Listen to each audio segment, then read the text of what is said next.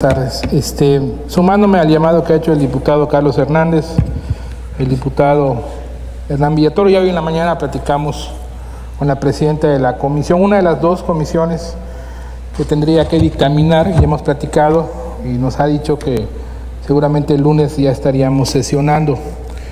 Eh, hay un tema adicional que me parece, sobre todo en esta legislatura de la paridad, que ha sacado ya los temas de violencia política y género. Una de las iniciativas que involucra a la Comisión de Puntos Constitucionales y de Participación Ciudadana, órganos autónomos y anticorrupción, es una propuesta que tiene que ver con el financiamiento que sea igualitario para hombres y para mujeres, porque si bien es cierto, ya se establece la paridad en las candidaturas, no menos cierto es que una manera de evadir primero las igualdad de condiciones para la mujer es que los partidos a veces les dan los distritos perdedores o los más complicados, es decir, las mandan prácticamente a perder. Y eso ya existen criterios y planteamientos para que en igualdad de circunstancias hombres y mujeres accedan a distritos ganadores, competitivos, o en igualdad de circunstancias aquellos distritos complicados para el partido político que los postule o las postule. Pero no hay algo en la ley y que se está planteando y que se requiere una reforma constitucional. Y eso es que también en recurso el partido político le dé el mismo recurso a su candidato hombre y a su candidata mujer. Porque la es arbitrio de los partidos decir cuánto del recurso que reciben para la campaña, el recurso extraordinario, ellos deciden cómo lo reparten.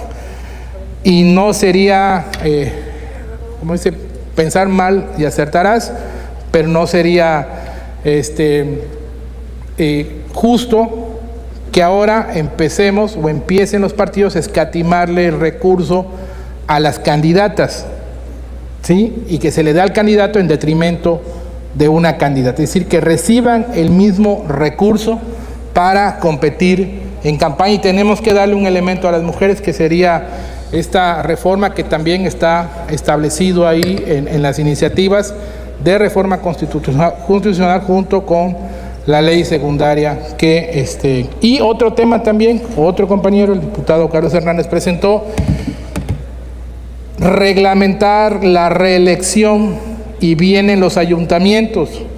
Y necesitamos establecer en la ley, que está en la iniciativa también, que tiene que ver con la reelección, es decir, sí hay temas que independientemente de lo que decidan las comisiones y el Pleno, se tienen que abordar y se tienen que traer al Pleno, ya sea para que se, apruebe o se rechace, pero sí tenemos que sacar eso antes, me parece ya de la semana que viene, si no estaríamos fuera.